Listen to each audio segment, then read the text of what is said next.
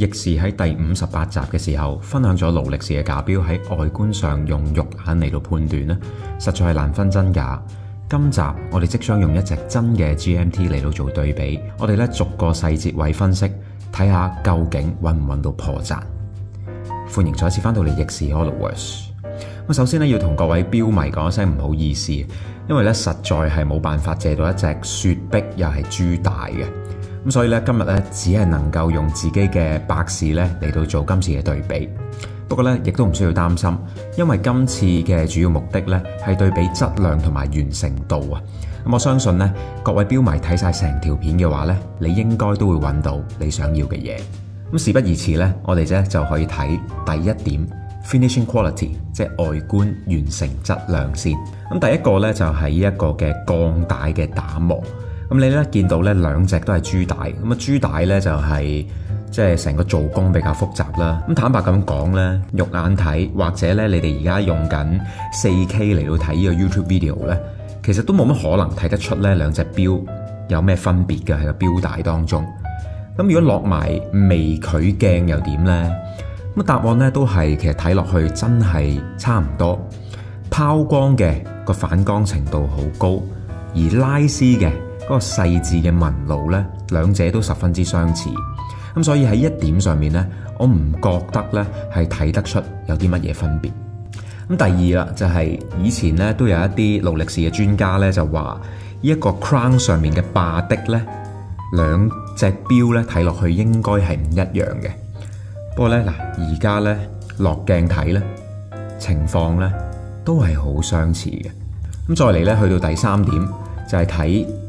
表面嘅 logo 啦，同埋咧呢一個嘅字體啊，吓好多咧都專家咧都話咧喺勞力士嘅 logo 嘅啊誒或者喺個字體上面咧，好容易揾到破綻。不過咧，我哋好認真咁樣去睇，發覺喺個字體嘅字形上面啦，喺每個字嘅字體嘅間距啦，喺個位置當中咧，都發現啊十分之困難。揾到兩隻錶咧喺個錶面上有啲咩唔同嘅地方。咁嚟到第四點咧，陶瓷錶圈上面嘅字體同埋咧兩個顏色交集嘅位置啊。咁喺對比當中咧，我哋見到咧喺個一字嘅字頭咧，假錶咧就係比較 sharp 啲嘅，而真錶咧就係比較圓少少嘅。咁啊，但係咧嗰個挑出嚟嗰個凹凸嘅情況咧。咁啊，真假勞力士咧都係似，而真錶值得一提咧，因為佢個 number 上面咧係做咗一個 platinum 嘅 coating 嘅，咁咧有一種閃閃發亮磨砂嘅咁嘅感覺。咁啊，假錶方面咧就真係唔知佢有冇做到呢個 platinum 嘅 coating。不過咧喺一個鏡頭咧睇落去咧，其實件事都係好似好似。不過值得一提嘅咧就係勞力士嘅雙色圈咧，即係你見到百事嗰個咧。佢喺嗰個嘅藍色同埋呢一個嘅紅色嘅交接位上面呢，佢係做到你見到個藍色呢係有少少好似過咗界咁樣嘅。咁對比起呢雪碧呢，呢個位呢就好似比起真錶呢就做得更加 sharp，更加嘅分明啊！咁啊，即係都係嗰句，唔評論係邊件好定邊件唔好。不過呢，係真假對比當中呢，呢個交接位上面呢係有少少分別嘅。咁跟住落嚟呢，就係呢一個嘅時針、分針、秒針，或者呢嗰個兩地時間針呢，做出嚟呢，誒究竟個 finishing 又會係點樣呢？咁啊，之前呢，就睇過有啲 forum 呢，就話假錶呢，嗰個 finishing 呢，就有啲粗糙啦。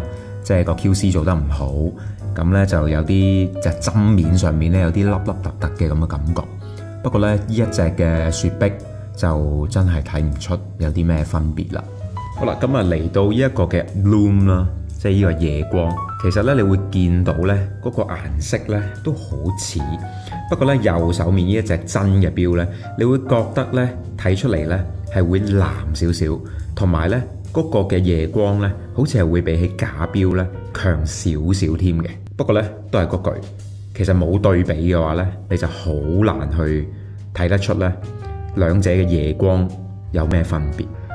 咁啊，嚟到再下一個點咧，就係我哋就再睇細啲。我哋咧就睇一個嘅藍寶石水晶面上面六點位啊，喺真嘅勞力士當中咧就有一個雷射嘅 logo 嘅。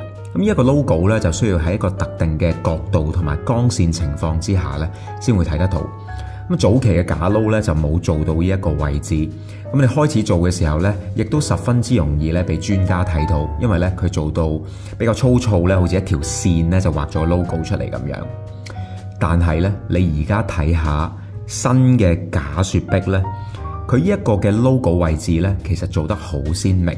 其實呢，你將即係真嘅錶拍埋一齊呢，你就唔難發覺呢，佢個細緻程度呢，佢係做得比真錶呢就更加細緻。但係呢，假嘅勞力士六點位呢一個雷射 logo 呢，佢係做得大咗少少嘅。跟住落嚟呢，就係錶扣上面嘅兩個 logo。咁咧，不論咧你係用手摸下佢啦，你用肉眼睇啦，同埋咧你用埋放大鏡嚟到睇咧，基本上咧呢兩個 logo 咧都係十分之一致一樣啊！咁標扣裏面呢一個嘅勞力士刻畫出嚟嘅 logo 又點呢？嗱，而家咧喺個鏡頭當中咧都唔容易係睇得出有分別嘅。不過咧嗱，落咗鏡之後咧，你就會發覺。真嘅錶咧，即係右手面呢一隻咧，佢嗰個刻出嚟個感覺咧，就比較粗糙同埋自然啲嚇。喺個顏色上面咧，你亦都會見到咧，喺個深淺上面咧，有少少唔均勻、唔均勻嘅感覺嘅。跟住睇落去咧，就係一個嘅錶圈啊，內部嘅字體啊。咁咧兩隻錶咧，如果放大嘅字體嚟到講嘅話咧。真錶睇落去呢，嗰個字體係比較清晰啲。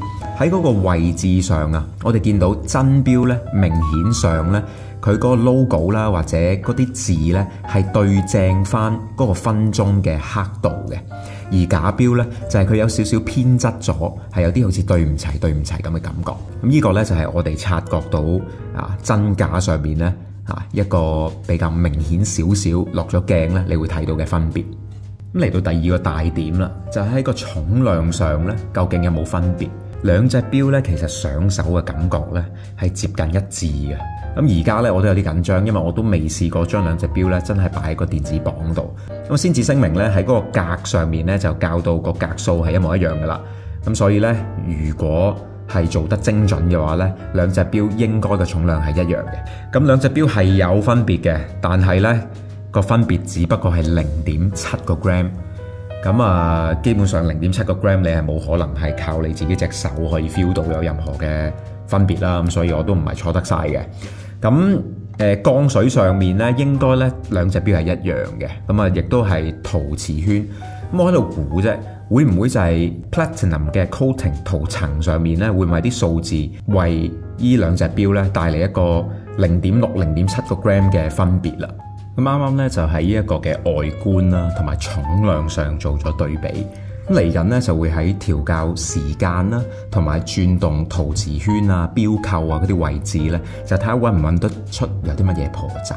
咁上網咧好多都話咧假錶咧就係通常過咗十二點鐘啊幾分鐘咧之後咧佢就先識跳個日期嘅。不過咧喺我依手上面一隻雪碧咧，佢就有少少唔一樣啦。你會見到咧。佢嗰個嘅分鐘呢，係未去到十二點，咁啊仲有兩分鐘度呢，佢個日期呢，就自己跳咗先嘅。咁呢真錶呢，嗰個準確程度呢，就會比起呢隻假錶呢準好多啦。咁另外一個比較明顯嘅分別呢，就係較呢一個嘅誒時針啊嘅時間呢，佢嗰個。準確性同埋信心咧，就比起隻真錶咧，你有對比情況之下咧，就冇咁準確嘅。佢係你會見到佢有啲尷尬嘅，你轉嘅時候同佢嗰個嘅時針喐動嗰個情況，同埋咧喺個聲音上面咧都係冇咁清脆嘅。因為咧喺個真錶當中咧，如果你係要教呢一個嘅時針嘅話咧，係你聽到。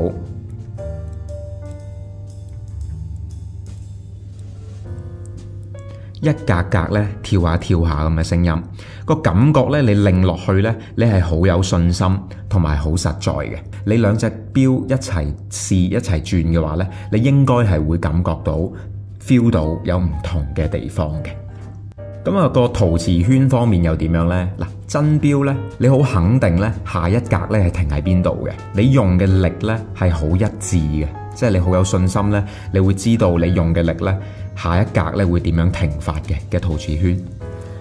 好啦，咁假錶又點呢？假錶嘅陶瓷圈呢，你轉呢，第一係有啲窒窒地嘅感覺啦，係冇咁清晰，同埋呢。我發覺你轉嘅時間呢，你用嘅力呢係有少少唔一樣嘅。咁呢一個轉動陶瓷圈呢，係我認為呢最容易分別到乜嘢係真，乜嘢係假嘅 GMT